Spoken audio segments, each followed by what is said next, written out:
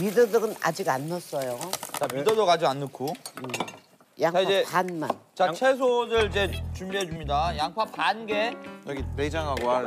아 넣어요 넣어요 그대로. 어, 그거 먹어야죠. 이, 그대로 얹어. 이 그대로. 엎지 말고. 딱지도 같이 넣죠, 어, 선생님. 지금 엎지 말고.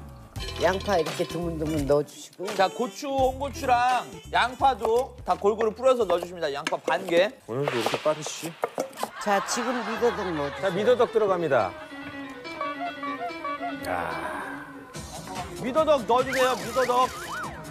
미더덕. 마늘을 많이 넣을 거예요. 자 마늘 일단 골고루 뿌려줘야 되는 거 아시죠?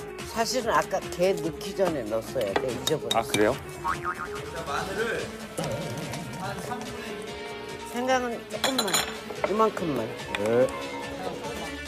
자, 그냥 엄마고. 다 됐죠? 다 됐죠? 네? 다 하셨죠? 됐어?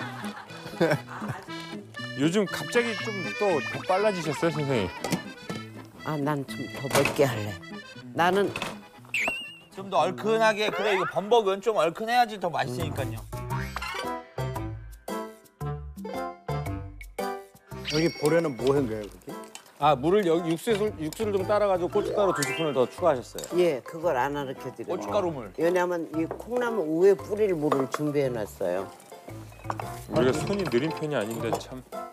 자, 의외로 게가 빨리 익어요. 의외로 개가 자, 빨리 지금 익습니다. 콩나물 굵은 거 머리 꽁지 다 뗐어요. 아 굵은 거. 네. 그렇지. 지금 이렇게 넣으세요. 수북하게. 그리고 아까 제가 양념 해놓으라 그런 거. 네, 고춧가루. 야, 위에다가 살살살 다 뿌려주십니다. 선생님은 항상 푸짐한 거는 최고 같아. 그리고 미나리하고 쑥갓하고 대파는 나중에 할 거야. 맨 나중에. 불 끄고 넣을 거야. 아, 항상. 불 끄고. 다 됐어. 자, 절대 지금 열고 싶은데 열면 안 돼요. 아 지금 열면 안 됩니다. 콩나물 때문에 비린내 또 저기 하니까. 상민아, 내반 한번 해봐. 옛날 실력으로. 나 이제 알아. 나 이제 알아. 과된 기분을 그건 착각이었어. 난 알아. 수 있니? 아, 나오네. 왕년에 나오네.